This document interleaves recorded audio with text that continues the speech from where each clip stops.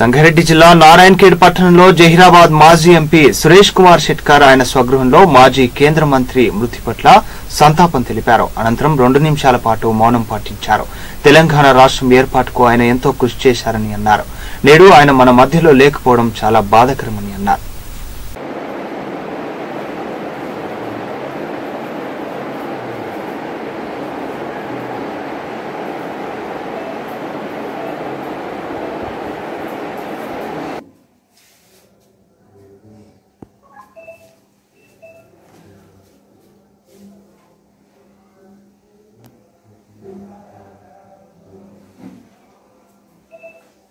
సుబ్బారెడ్డి గారు మరణించడం తెలంగాణ ప్రాంతానికి తీవ్ర నష్టం.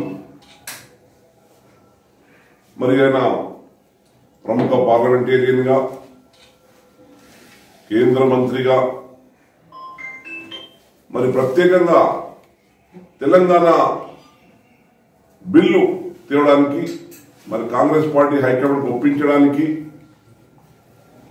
మరి పార్లమెంట్లో తెలంగాణ బిల్లు పెట్టినప్పుడు తీవ్ర ఇబ్బందులు ఎదురైనాయి.